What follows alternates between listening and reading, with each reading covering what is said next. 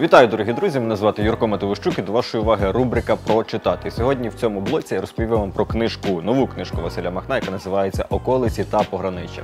Василь Махно знаний український автор. е, Передовсім стартував як поет. Зараз 20, близько 20 років мешкає у Нью-Йорку, зокрема в Сполучених Штатах Америки, але до українського простору, українського дискурсу, дискурсу літературного належить як найкраще. І кожного року практично у нього виходять е, нові книжки. Так і сталося саме з цією книжкою Околиці та пограниччя. Це е, збірка есеїв, вибраних есеїв з 2011 по 2018 роки, які публікувалися в різноманітних часописах, як електронних, так і друкованих в Україні. Це, зокрема, і часописи критика чи що.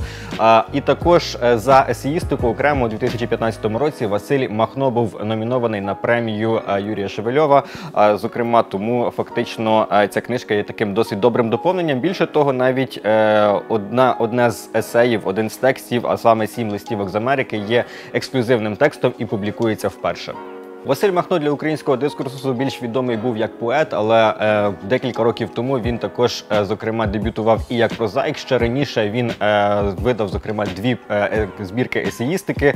І більше того, у 2015 році знову ж таки він е, отримав премію за найкращу книгу року у BBC, саме, за книгу Дім у Бейтінголов за прозову книгу. Хочу сказати, що в даному випадку ця есеїстика є досить е, добрим, е, добрим доповненням до усієї творчості Василя Махна, тому що е, тут, е, зокрема, е, дуже досить е, помітним є вплив саме його поетичної мови на е, його прозову мову. Деякі пасажі у прозових текстах звучать дуже і читаються в тексті досить гармонійно і красиво. Насправді, тому автор не тільки слугує викладу есеїстика, але й фактично працює над красивістю свого мовлення, красою свого мовлення. І також хочу сказати, що також ця есеї- есеїстика слугує дуже таким важливим компонентом поєднання між поетичними, прозовими та есеїстичними текстами, тому що саме деяка есеїстика, зокрема, стосується тих тем, які вже Василь Махно піднімав в попередніх своїх текстах у поетичній чи прозовій формі. Зокрема, наприклад, е, в одному з е, есеїстичних текстів саме у цій книжці йдеться про те, як він після вже видання книжки Дім у Бейтінголов повертається до місця, е, про яке він писав у книжці Дім у Бейтінголов, і описує різноманітні аспекти і різно- різноманітні моменти, зокрема того, що війшло, того що не війшло у кадр, то що е, насправді було поза кадром написання е, Діма Бейтінголов, і це також е, слугує досить цікавим поєднанням. Географія текстів Василя Махна досить різнобарна і різноманітна, і фактично ця книжка вона є таким путівником того, куди автор їздив попередні роки. Зокрема, він досить добре описує різноманітні фестивалі, де він побував, країни, які він відвідав. І вона складається і починається із Тернополя, Нью-Йорка. Зокрема, вона так можна сказати, бігає від одного міста до іншого, Гранади, е, Колумбії та інших міст, е, зокрема досить екзотичних, де навіть можна сказати, інколи не побувала навіть нога е, різноманітних блогерів-мандрівників. І в даному випадку він олітературнив свої мандри таким чином, аби дійсно вона читалася на одному подиху. І насправді я особисто цю книжку прочитав буквально за один раз і отримав від цього велику насолоду. Отож, бажаю вам чудових книжок.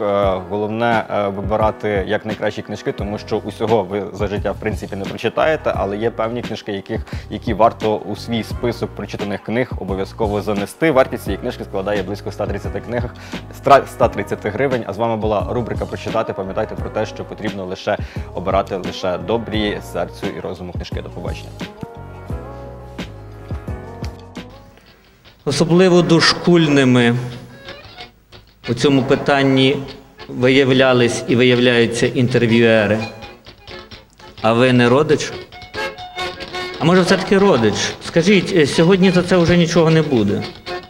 Пригадується мені стара бібліотекарка в педінституті на початку 80-х, коли я заповнював читацький формуляр, вжалена, перепитала: Махно, дитино, а як ти вступив сюди?